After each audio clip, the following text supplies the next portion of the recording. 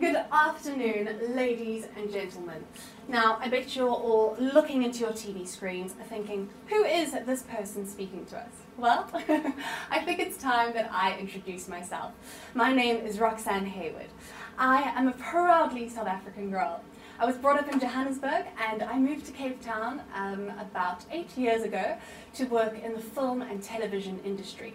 So, yep, being in front of the camera definitely isn't new to me. It's something that I feel comfortable doing, and it's something that I absolutely love. Um, I also have a blog which has over 10,000 followers already, and um, we work very closely with a charity fund called Breadline Africa. And we actually have Breadline Africa in studio with us today. Um, Bailey Schneider is going to be asking them a few questions about their charity, what it's all about, and what makes it different from other charity organizations. So, over to you, Bailey. Well done. Very professional. Wow, Wow. that was very good. Very Lovely, natural, authentic. Okay, Very Your cool. hair looks gorgeous. Thank you. gorgeous. Really Yeah. amazing.